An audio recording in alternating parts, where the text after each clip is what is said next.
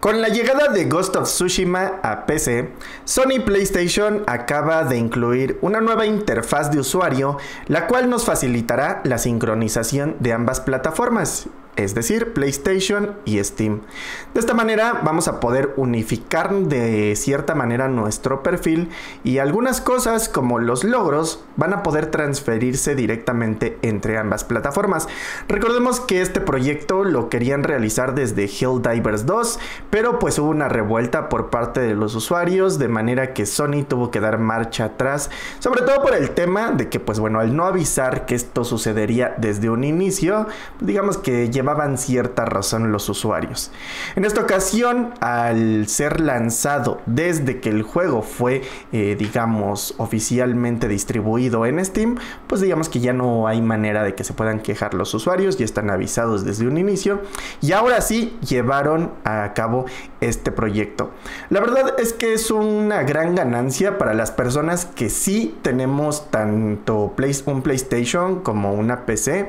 Entiendo la parte de los usuarios que únicamente tienen PC, que pues no van a tener como que la necesidad o van a querer realizar una cuenta extra nada más por tener eh, digamos un pequeño perfil en el que incluyan eh, los juegos de PlayStation pero para los que sí contamos con ambas plataformas es una gran ganancia por el tema de que pues bueno aquí directamente desde aquí podemos entrar a configuraciones básicas como ver amigos ver trofeos eh, perfil incluso modificar algunas cosas de nuestra configuración de nuestra cuenta.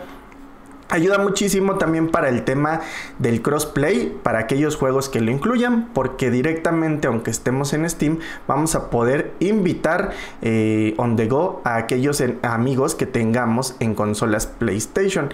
Y en el tema de los trofeos, pues vamos a poder seguir eh, ampliando nuestro historial de juego con aquellos juegos que lo permitan. Por ejemplo, aquí en Ghost of Tsushima hay una manera no oficial de transferir nuestro save file de PlayStation 4 a, PC directamente.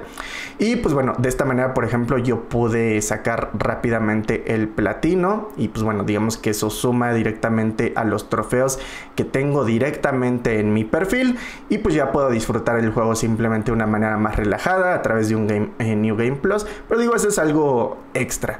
Eh, la verdad es que es una muy buena forma como de seguir ampliando justamente nuestro, nuestro perfil, nuestro historial de juego para aquellos que nos guste como tener un pues un, lugar más unificado y pues ya acabaron de ver un poquito de cómo es que funciona la interfaz. Eh, así que es muy probable que poco a poco eh, no sé si lo vayan a hacer retroactivamente con aquellos juegos que ya salieron. Por ahora no lo han hecho como por ejemplo Horizon Returnal no tienen esta interfaz. Por ahora solo está incluido en Ghost of Tsushima.